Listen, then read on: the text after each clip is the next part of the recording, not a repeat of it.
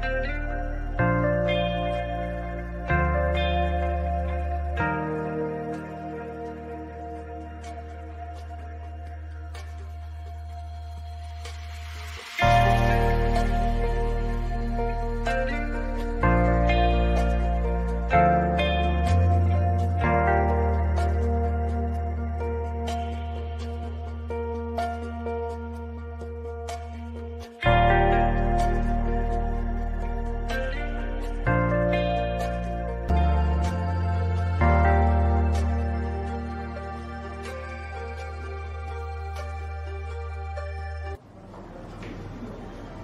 I have just taken the vaccine myself.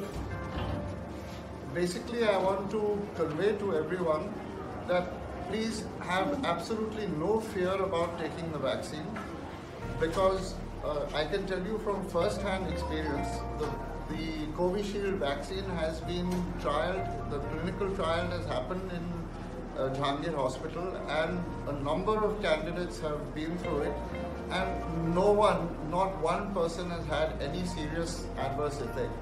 At maximum, there may be a slight headache or there may be a slight fluish system, uh, symptom which can later on be taken care of by uh, just one or two paracetamols. So I, I would urge everyone to please take this uh, uh, vaccine without any fear, without any doubt because you will be protecting not only yourselves, you will be protecting your families and the, and the society all around.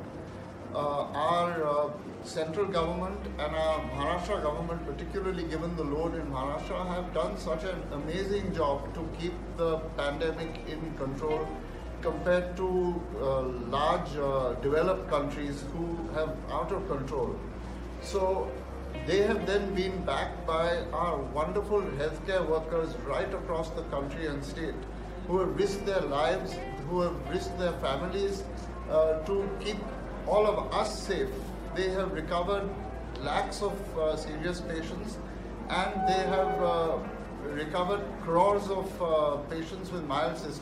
Uh, I would like to also request the uh, authorities everywhere that please make this uh, vaccine available to the general public as quickly as possible because the sooner we vaccinate uh, a large number of people, we will be able to once and for all get rid of this pandemic. We are in a very lucky situation that it is uh, on the decline. There are fewer and fewer cases. This is the time to eradicate it completely.